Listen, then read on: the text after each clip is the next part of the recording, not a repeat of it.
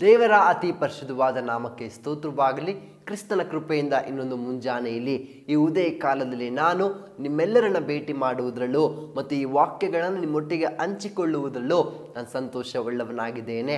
ಪ್ರಿಯ ದೇವಜನರೇ, ಪ್ರತಿ ಮುಂಜಾನೆಯಲ್ಲಿ ನಾವು ದೇವರ ಸಾನ್ನಿಧ್ಯದಲ್ಲಿ ಯೇಸುವನ್ನು ಭೇಟಿ ಮಾಡುವುದಕ್ಕೆ ಬರ್ತಾ ಇದ್ದೀವಿ. ಈ ಮುಂಜಾನೆ ವೇಳೆಯಲ್ಲಿ ದೇವರ ಸಾನ್ನಿಧ್ಯದಲ್ಲಿ ಬರುವಾಗ ಆ ಸರ್ವಶಕ್ತನಾದ ದೇವರಾದ ಯೇಸು ಸ್ವಾಮಿಯನ್ನು ನಾವು ಭೇಟಿ ಮಾಡುವುದಕ್ಕೆ ಬರ್ತಾ ಇದ್ದೀವಿ ಅಂದರೆ ಏನೋ ಒಂದು ನಂಬಿಕೆಯಲ್ಲಿ ಬರ್ತೀವಲ್ವಾ? ಅಯ್ಯೋ, ನನ್ನ ಜೀವಿತದಲ್ಲಿ ಇವತ್ತು ಈ ಒಳ್ಳೆ ಕಾರ್ಯ ಆಗುತ್ತದೆ. ಏನೋ ಒಂದು ಚಿಕ್ಕ ನಂಬಿಕೆ, ಯಾವುದೊಂದು ವಿಷಯದಲ್ಲಿ ಒಂದು ಚಿಕ್ಕ ನಂಬಿಕೆ, ಇದಾಗ್ಬಿಟ್ರೆ ಸಾಕು, ಇದಾದರೆ ಚೆನ್ನಾಗಿರುತ್ತದೆ ಅಂತ ಅನೇಕ ನಂಬಿಕೆಯಿಂದ ನಾವು ದೇವರ ಬಳಿಯಲ್ಲಿ ಬರುತ್ತೇವೆ. ಅದು ಬಹಳ ಒಳ್ಳೆಯದು ಪ್ರಿಯ ದೇವ ಜನರೇ. ಯಾಕೆಂದರೆ ಅನೇಕರು ಯೇಸುವಿನ ಬಳಿಯಲ್ಲಿ ಬರ್ತಾರೆ, ಸುಮ್ಮನೆ ಬಂದು ಸುಮ್ಮನೆ ಹಿಂತಿರುಗಿ ಹೋಗ್ತಾರೆ. ಆದರೆ ನಮ್ಮ ಜೀವಿತದಲ್ಲಿ ಏನಾದರೂ ಕಾರ್ಯ ಆಗಬೇಕು ಅಂದರೆ ನಾವು ನಂಬಿಕೆಯಿಂದ ಯೇಸು ಸ್ವಾಮಿಯ ಬಳಿಯಲ್ಲಿ ಬರಬೇಕು.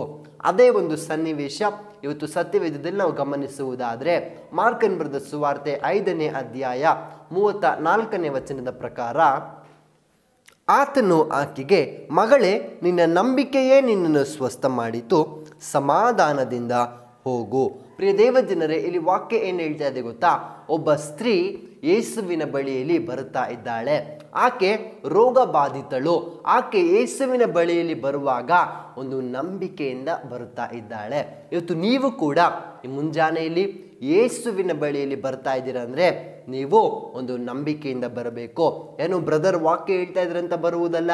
ಯೇಸುನನ್ನು ನಾನು ಭೇಟಿ ಮಾಡ್ತಾ ಇದ್ದೀನಿ. ಯೇಸು ಸ್ವಾಮಿಯ ವಾಕ್ಯಗಳನ್ನು ನಾನು ಕೇಳ್ತಾ ಇದ್ದೀನಿ.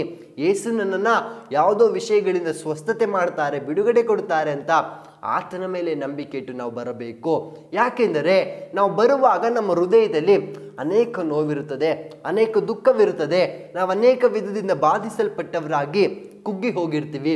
ಆದರೆ ಯೇಸುವಿನ ಬಳಿಯಲ್ಲಿ ಬರುವಾಗ ಒಂದು ನಂಬಿಕೆ ನಮಗಿರುವುದಾದರೆ ನಮ್ಮ ನಂಬಿಕೆಯೇ ನಮ್ಮನ್ನು ಸ್ವಸ್ಥ ಮಾಡುತ್ತದೆ ಅನ್ನುವುದನ್ನು ಈ ಮುಂಜಾನೆಯಲ್ಲಿ ದೇವರು ನಿಮ್ಮೆಲ್ಲರೊಟ್ಟಿಗೆ ಮಾತನಾಡ್ತಾ ಇದ್ದರೆ ಯಾರೋ ಒಬ್ಬ ಸಹೋದರ ಇವತ್ತು ಈ ಮುಂಜಾನೆ ವೇಳೆ ನಿಮ್ಮ ಹೃದಯದಲ್ಲಿ ಬಹಳ ನೋವಿನಲ್ಲಿರಬಹುದು.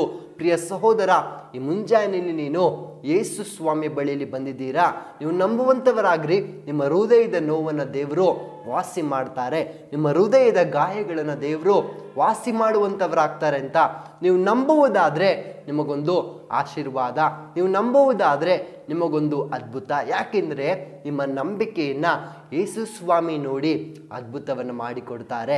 ಈ ಸಹೋದರಿಗೂ ಕೂಡ ಹಾಗೆ ಆಗಿದ್ದು, ಆಕೆ ಯೇಸುವಿನ ಬಳಿಯಲ್ಲಿ ಬರುವಾಗ ಒಂದು ನಂಬಿಕೆಯಿಂದ ಬರ್ತಾ ಇದ್ದಾಳೆ. ಆ ನಂಬಿಕೆಯೇ ನಿನ್ನನ್ನು ಸ್ವಸ್ಥ ಮಾಡಿತು ಮಗಳೇ ಸಮಾಧಾನದಿಂದ ಹೋಗು ಅಂತ ಯೇಸು ಹೇಳಿ ಕಳಿಸ್ತಾ ಇದ್ದಾರೆ.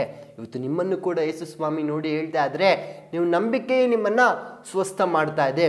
ನಿಮ್ಮ ನಂಬಿಕೆಯೇ ನಿಮಗೊಂದು ಬಿಡುಗಡೆ ಕೊಡ್ತಾ ಇದೆ. ನಿಮ್ಮ ನಂಬಿಕೆಯೇ ನಿಮ್ಮನ್ನು ಆಶೀರ್ವಾದ ಮಾಡ್ತಾ ಇದೆ. ಸಮಾಧಾನದಿಂದ ಹೋಗ್ರಿ ಅಂತ ಏಸಪ್ಪ ಹೇಳ್ತಾ ಇದ್ದಾರೆ, ಈ ದಿನವನ್ನು ಆರಂಭಿಸುವಾಗ ನೀವು ನಂಬಿಕೆಯಿಂದ ಯೇಸುವಿನ ಬಳಿಯಲ್ಲಿ ಬಂದು ಏನೇ ಪ್ರಾರ್ಥಿಸಿದ್ರು ಕೂಡ ಅದನ್ನು ಹೊಂದಿಕೊಳ್ತೀರಾ? ದೇವರ ಸಾನ್ನಿಧ್ಯದಿಂದ ಈ ಮುಂಜಾನೆಯಲ್ಲಿ ನಾವು ಪ್ರಾರ್ಥನೆ ಮಾಡಿ ದಿನವನ್ನು ಆರಂಭಿಸುವುದಕ್ಕೆ ಹೋಗುವಾಗ ಒಂದು ಸಮಾಧಾನದಿಂದ ನೀವು ಹೋಗ್ತೀರಾ? ಒಂದು ನೆಮ್ಮದಿಯಿಂದ ನೀವು ಹೋಗ್ತೀರಾ? ಹೃದಯದಲ್ಲಿ ಬರುವಾಗ ಇತ್ತು ನೋಡ್ರಿ, ದುಃಖ, ನೋವು, ಕಳವಳ, ಅದು ಮತ್ತೆ ಹಿಂತಿರುಗಿ ಹೋಗುವಾಗ ಅದಿರುವುದಿಲ್ಲ ಪ್ರಿಯ ದೇವಜನರೇ. ಒಂದು ಸಮಾಧಾನವನ್ನು ಯೇಸು ನಿಮಗಾಗಿ ಕೊಡುತ್ತಾರೆ. ನಾವು ಪ್ರಾರ್ಥನೆ ಮಾಡಿಕೊಳ್ಳೋಣವೇ.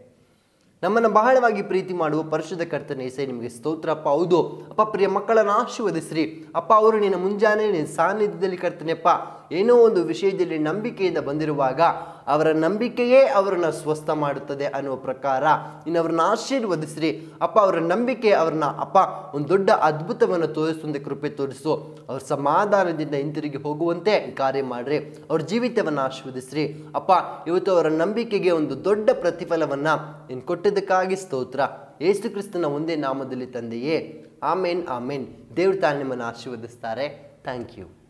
ವೀಕ್ಷಕರೇ ನಮ್ಮನ್ನ ಸಂಪರ್ಕಿಸಬೇಕಾದ ಸ್ಥಳ God's grace prayer hall Sunkadakatte Magadi ಮುಖ್ಯ ರಸ್ತೆ ಬೆಂಗಳೂರು ಐದು ಆರು ಸೊನ್ನೆ ಸೊನ್ನೆ ಒಂಬತ್ತು ಒಂದು ಗೂಗಲ್ ಮ್ಯಾಪ್ಸ್ ನಲ್ಲೂ ಕೂಡ ಗಾಡ್ಸ್ ಗ್ರೇಸ್ ಪ್ರಯರ್ ಹಾಲ್ ಎಂದು ನೀವು ಸರ್ಚ್ ಮಾಡಬಹುದು Further details and prayer support, contact Word to Word Ministries, Bangalore.